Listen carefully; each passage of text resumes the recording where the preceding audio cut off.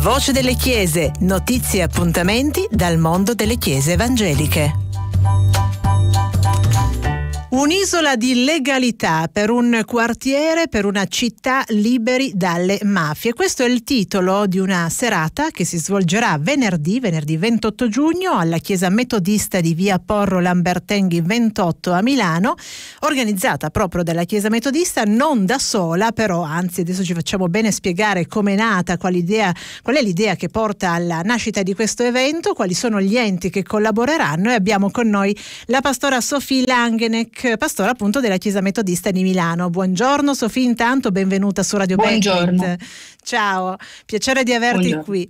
Allora, come nasce questa idea, questa serata su un tema che sappiamo è un tema caro comunque alle nostre chiese evangeliche da sempre?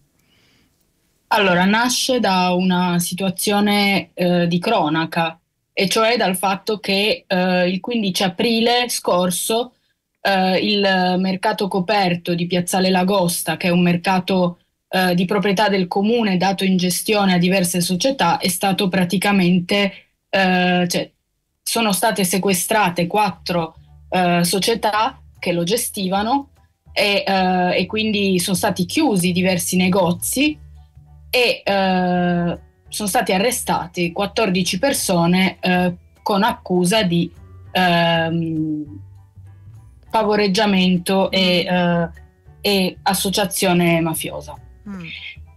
di stampo andranghetista. Ora, questo è un fatto di cronaca che uh, non ci sconvolge più di tanto. Noi sappiamo che da molti anni, uh, da un punto di vista finanziario, la città di Milano è sotto influenze ehm, dell'illegalità e della criminalità organizzata.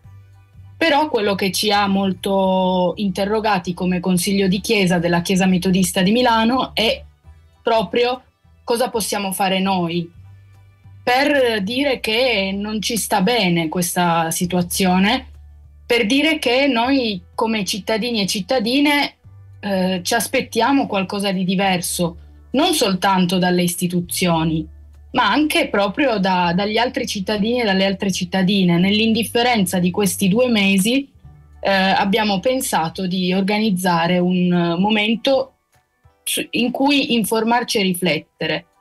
E quindi abbiamo invitato eh, alcuni esponenti dell'antimafia, eh, non soltanto eh, il garante per, per, il comune di Milano, Davide Gentili, che fa parte di, della commissione antimafia del comune, ma anche eh, appunto la coordinatrice della DIA, perché eh, riteniamo che, queste, che quando si parla di antimafia è bene anche sentire la voce degli esperti mm. e farci dire, farci insegnare anche cosa nel nostro piccolo, nelle nostre vite quotidiane possiamo fare eh, per metterci un po' di traverso mm. eh, a quello che è eh, il quotidiano vivere in un mondo che, perché è un mondo fatto di, eh, di capitalismo, è fatto di eh, guadagni, è anche un mondo a volte eh, corrotto. Certo. Cosa possiamo fare senza diventare dei supereroi? Ecco, questo è un po' quello che cerchiamo di mm. scoprire mm. certo. in questa serata e anche di trovare eh, dei cittadini e delle cittadine che eh, possano essere interessate a questo tema.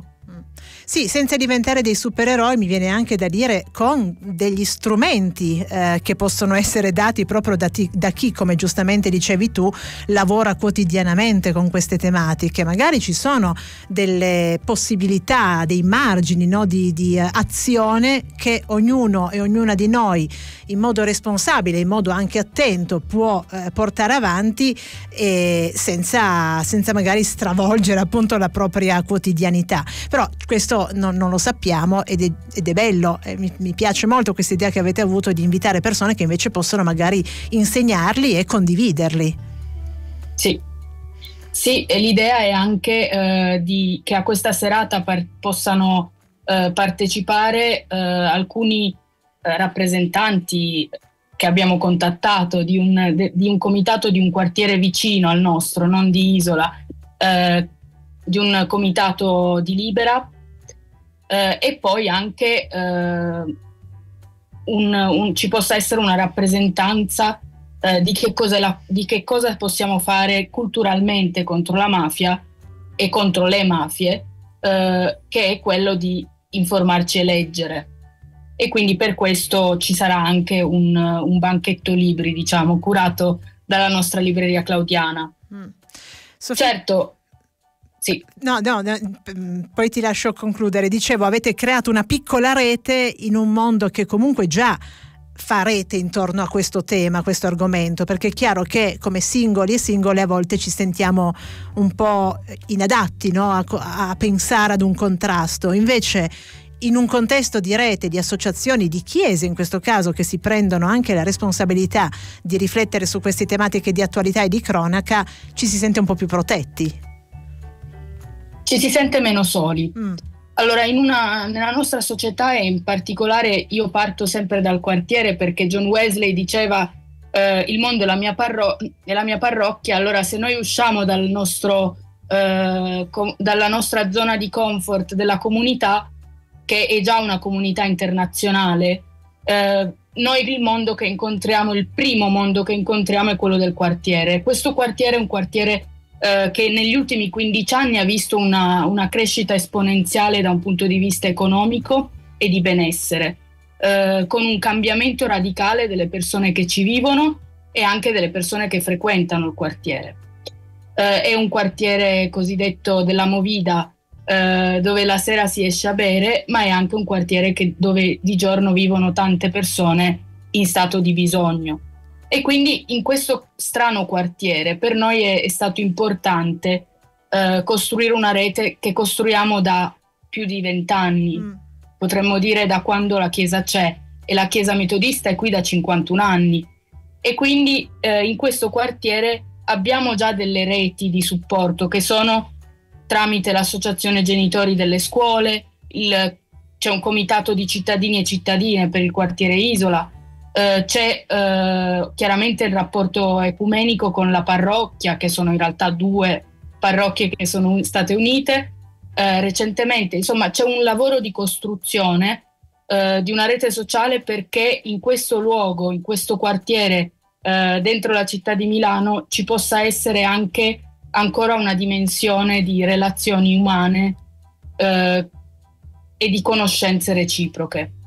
Eh, cosa che non è da dare per scontato in una, in una megalopoli o in una, in una certo. zona eh, che ha cambiato tantissimo i suoi connotati nel, in, soli, in pochi anni. Certo. Noi siamo il quartiere che sta sotto il bosco verticale per, per, per, per chi non è di Milano. Sì, e quindi siamo un, un, quartiere tra due stazioni ferroviarie eh, dove c'è un grande passaggio di persone e di giorno c'è veramente eh, tantissima gente che lavora qua eh, e la notte c'è la movida. Dopodiché però ci sono anche i residenti, ci sono i cittadini e le cittadine e, eh, ed, è per, ed, è per, loro che abbiamo pensato a un momento di riflessione che ci permetta di aprire anche eh, una, uno sguardo un po' più ampio Uh, su che cosa noi intendiamo con uh, legalità e con uh, città sicura eh, da non intendersi come con il binomio di decoro e sicurezza certo. di cui sentiamo parlare molto spesso per le nostre realtà cittadine. Eh, decoro e sicurezza qui eh, sono, del, sono, dei temi stra eh, utilizzati, invece noi vogliamo parlare di legalità e responsabilità civile, personale dei cittadini e delle cittadine. E quindi, quindi, vedremo un po' cosa viene cosa fuori. viene fuori, certo, anche rispetto a, a, magari a qualche intervento, a qualche momento di confronto proprio con le persone che eh, parteciperanno a questa serata. Sì, ci sarà anche eh, il, la presenza della presidente eh, del, del, municipio 9, quindi della circoscrizione che riguarda il nostro quartiere e anche eh, dell'assessore alla sicurezza del Comune di Milano e noi siamo molto, molto onorati di essere stati anche eh, presi sul serio e interpellati perché non ci dimentichiamo mai di essere una chiesa di minoranza, ma siamo, sappiamo e, sa- e, e, siamo consapevoli di essere una minoranza eh, che non sta mai zitta e quindi in qualche modo che, che fa sempre sentire la sua voce. e, e ci fa piacere che questa volta è stato accolto questo invito a partecipare, sarà, ci sarà un saluto eh, istituzionale, niente di più, e anche per, metter, cioè per, per, lasciare lo spazio ai cittadini e alle cittadine tutte di eh, poter anche interagire con, con eh, gli ospiti invitati. Bene, allora io ricordo l'appuntamento, magari qualcuno ci sta ascoltando da quelle zone o qualcuno sarà in zona venerdì, sappiate che ci sarà questa iniziativa eh, questa serata un'isola di legalità per un quartiere, per una città liberi dalle mafie alla chiesa metodista in via Porro Lambertenghi 28 a Milano. Eh, grazie, grazie Sofì Langenek per essere stata con noi, buon lavoro a te, un saluto a tutta la, co- la comunità, alla chiesa metodista di Milano e alla prossima. Ciao, buon lavoro. Grazie, ciao. Per segnalarci appuntamenti, eventi o notizie, scrivete a diretta chiocciola rbe.it.